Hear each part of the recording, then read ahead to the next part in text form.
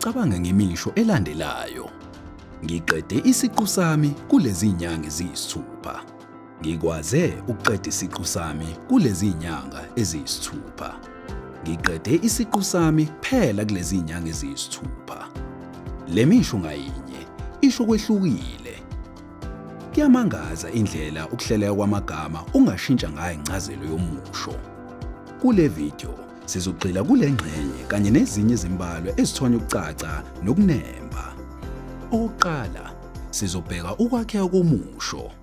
Ngokuvamile abahlali bafihla noma basonta incazelo yemisho lapho bezama ukukhetha imphimbo eliqinile kakhulu. Nasi isibonelo sombhalo wezomthetho. Impikiswano ehlule ukuhlinzeka nokugcinwa kwesilinganiso senkokhelo lapho kuphela isikhathi selungelo lobunikazi kwadikibalisa ukulwisana nekhontilaki.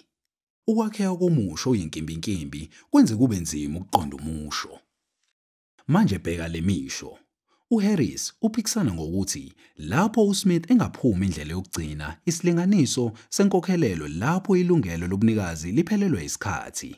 uSmith wamdikibalisa ekutheni angaphikisani nekhontilaki yabo. Nokho leyo mpikiswano ayisebenzi lapha. Ukusetshenziswa kwemisho emibili esikhundleni sowodwa kwenza kube lula ukulandela.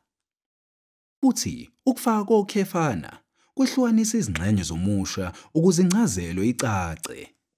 Kuwumbono omuhle ukufundela phezulu imisho yakho ukuze uhlole ukwakheka komusho wakho. Okwesibili, fanele ugweme istatement ezingacacile nezingavamile. Ngokwesibonelo, ukusetshenziswa kwegama elithi amaningi kokuthi amamakethe ezimalini emazweni amaningi akucacile. Kunalokho, cacisa okushiwa amaningi ngokubhekisela emamakethe ezemali emazweni amaningi njengase-UK, e-USA nase-China. Okwesithathu, kufanele usebenzise uhlelo lwamagama olufanele isihloko esithile kanye nezincazelo lapho kunokwenzeka. Qaphela ukuthi igama elifanayo lingase libe nencazelo eziningi kumongo ohlukile. Thatha ngokwesibonelo igama isifundo. Leli gama lingasetshenziswa njengesenzo noma ibizo. Uma kuziwa kulomongo, isifundo njengesenzo singabe sibhekisele ekusebenziseni isijeziso njengomphumela wokungalaleli. Njengebizo, isifundo singase futhi sisho umkhakha wolwazi ngokuvamile olufunda enyuvesi. Ngakho-ke, qinisekisa ukuthi usebenzisa amagama ngendlela efanele kuwo wonke umbhalo wakho futhi njalo ufake izikhombo zombhalo ukwesekela. Ekugcineni, ukusetshenziswa kolimi ngendlela efanele kungase kusize ekwenzeni umbhalo ube ocacile kanye nonembile. Ukusetshenziswa kolimi ngendlela engafanele ukuthi kunganako ukuqukethwe futhi kwenze ukuthi wena njengombhali ungathandeki.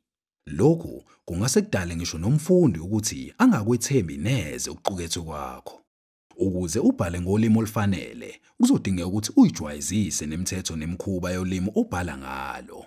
Ungadikibali. Ngisho nabasebenzi bolimi abanekhono kudingeka ukuthi babheke imihlahlandlela yolimi, izincwadi zokuhlela olimi nezichazamazwi. Asibiyekeze. Ukuze ubhale ngokucacile futhi ngokunembile kudingeka unakisise ukwakhiwa komusho, ugweme idatimende engacacile nezivamile. Wazi amagama nezincazelo zomkhakha wakho futhi uwasebenzise kakhulu. Futhi qinisekisa ukuthi usebenzisa ulimi lwenkulumo olufanele. Landela lezi ziqondiso ukuze uthuthuke njengombhali futhi uthuthukise ikhwalithi yomsebenzi wakho obhaliwe. Bheka ulwazi olunikeziwe ukuthola amacebiso nezibonelo ezengeziwe.